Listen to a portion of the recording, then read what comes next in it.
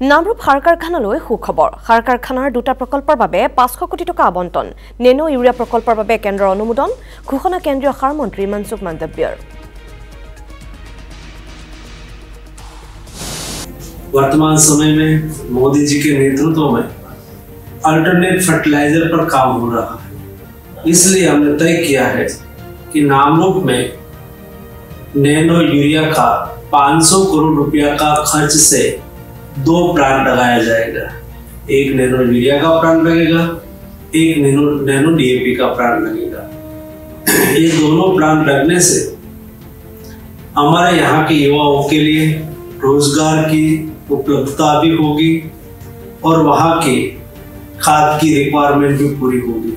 इतना ही नहीं, ये हमारा नैनो यूरिया और नैनो डीएपी हमारे नॉर्थ ईस्ट में डिब्रूगढ़ में नामरूप में जब उत्पादित होगा तो वहाँ के पड़ोसी देश में उसका एक्सपोर्ट भी किया जाएगा।